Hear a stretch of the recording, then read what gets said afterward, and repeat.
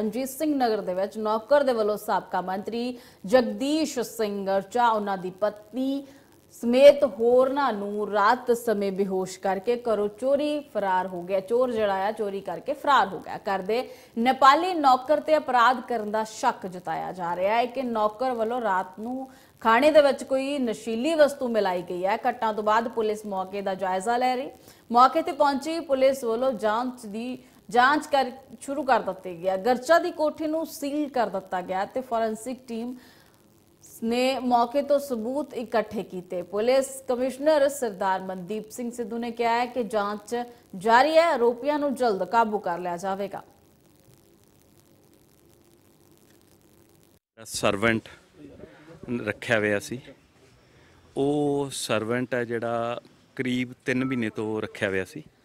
ਉਹ ਕੋਈ ਬਿਓਸ਼ੀ ਦੀ ਦਵਾ ਪਾ ਕੇ ਜਿਹੜੇ ਐਕਸ ਐਮਐਲ ਐਕਸ ਮਿਨਿਸਟਰ ਆਪਣੇ, ਸ਼੍ਰੀ ਜਗਦੀਸ਼ ਸਿੰਘ ਗਰਚਾ, ਬੜੇ ਸੀਨੀਅਰ ਲੀਡਰ ਹੈ ਉਹਨਾਂ ਦੇ ਕੋਈ ਖਾਣੇ ਦੇ ਵਿੱਚ ਉਵੇਂ ਪਾ ਕੇ ਤੇ ਰਾਤ ਉਹਨਾਂ ਦੇ ਘਰੇ ਜੋ ਵੈਲਿਊਏਬਲ ਕੀਮਤੀ ਚੀਜ਼ਾਂ ਹੁੰਦੀਆਂ, ਗਹਿਣਾ ਜਾਂ ਹੋਰ, ਹਜੇ ਕਿਸੇ ਨੂੰ ਆਈਡੀਆ ਨਹੀਂ, ਉਹ ਲੈ ਕੇ ਚਲਿਆ ਗਿਆ।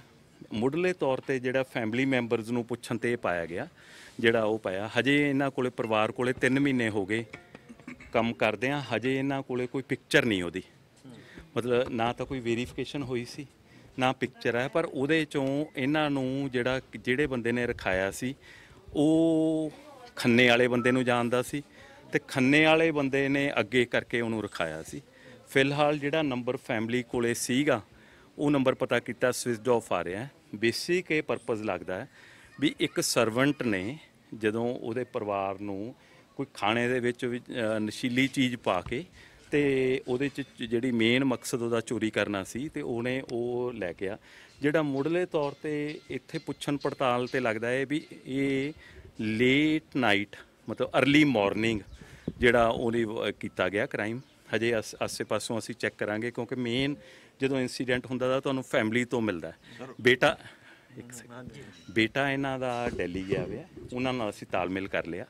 ਤੇ ਉਹਦੇ ਤੋਂ ਅਸੀਂ ਜਿਹੜੀਆਂ ਵੈਲਿਊਏਬਲ ਕਲੂਜ਼ ਜਿਹੜੀਆਂ ਹੁੰਦੀਆਂ ਜੇ ਇਮੀਡੀਏਟ ਕੋਈ ਵੈਰੀਫਿਕੇਸ਼ਨ ਨਹੀਂ ਕਰਾਈ ਚਲੋ ਉਹ ਵੱਖਰੀ ਗੱਲ ਹੈ ਬਟ ਉਹਦੇ 'ਚ ਕੋਈ ਫੋਟੋ ਨਹੀਂ ਹੈਗੀ। ਕੋਈ ਨਾ ਕੋਈ ਕਿਸੇ ਫੰਕਸ਼ਨ ਦੀ ਕਿਸੇ ਦੁਕਾਨ ਦੇ ਉੱਤੇ ਸੌਦਾ ਲੈਣ ਜਾਂਦੇ ਹੁੰਦੇ ਆ ਜਾਂ ਕਿਤੇ ਮਾਰਕੀਟ ਦੇ ਵਿੱਚ ਨਾਲ ਜਾਂਦਾ ਜਿੱਥੋਂ ਸਾਨੂੰ ਉਹਦੀ ਜਿਹੜੇ ਮੇਨ ਦੇਖੋ ਪੁਲਿਸ ਨੇ ਲੱਭਣਾ ਕਿੱਥੋਂ ਦੋ ਚੀਜ਼ਾਂ ਤੋਂ ਲੱਭਣਾ। ਸਭ ਤੋਂ ਪਹਿਲਾਂ ਅਸੀਂ ਉਹ ਬੰਦੇ ਦੀ ਫੋਟੋ ਜਾਨਣਾ ਚਾਹਾਂਗੇ ਵੀ ਪਿਕਚਰ ਕਿਹੜੀ ਹੈ। ਹਜੇ ਤੱਕ ਸਾਨੂੰ ਉਹ ਪਿਕਚਰ ਨਹੀਂ ਮਿਲੀ ਬਟ ਅਸੀਂ ਉਹਨੂੰ ਨੋ ਡਾਊਟ ਕਿ ਜਿਵੇਂ ਬਾਕੀ ਕੇਸਿਸ ਟਰੇਸ ਕੀਤੇ ਆ ਇਸ ਕੇਸ ਨੂੰ ਵੀ ਟਰੇਸ ਕਰ ਲਾਂਗੇ। ਦੂਜੀ ਦੂਜੀ ਜਿਹੜੀ ਸਾਡਾ ਮੇਨ ਕੰਸਰਨ ਹੈ ਕਿਉਂਕਿ ਇਹ ਬੜੇ ਸੀਨੀਅਰ ਜਿਹੜੇ ਜਗਦੀਸ਼ ਕਰਚਾ ਜੀ ਹੈ ਉਹਨਾਂ ਦਾ ਜਿਹੜੀ ਹੈਲਥ ਬਾਰੇ ਕੰਸਰਨ ਹੈ ਮੈਂ ਹਸਪੀਟਲ ਜਾ ਕੇ ਆਇਆ। ਉਹ ਪੰਚਮ ਹਸਪੀਟਲ ਸੀਗੇ। ਬਾਕੀ ਫੈਮਿਲੀ ਜਿਹੜੇ ਤਿੰਨ ਮੈਂਬਰਸ ਨੂੰ ਉਹਨਾਂ ਨੇ ਦਿੱਤੀ ਸੀ ਖਾਣੇ ਵਾਲੀ ਉਹਨਾਂ ਨੂੰ ਹੋਸ਼ ਆ ਗਈ ਹੈ। ਸਭ ਤੋਂ ਪਹਿਲਾਂ ਤਾਂ ਅਸੀਂ ਪ੍ਰੇ ਕਰਦੇ ਹਾਂ ਵੀ ਉਹਨਾਂ ਦੀ ਹੈਲਥ ਠੀਕ ਹੋਵੇ। ਦੂਸਰਾ ਹਜੇ ਕਈ ਪੁਆਇੰਟ ਆ ਮੈਂ ਇਨਵੈਸਟੀਗੇਸ਼ਨ ਦੇ ਤੁਹਾਡੇ ਨਾਲ ਸ਼ੇਅਰ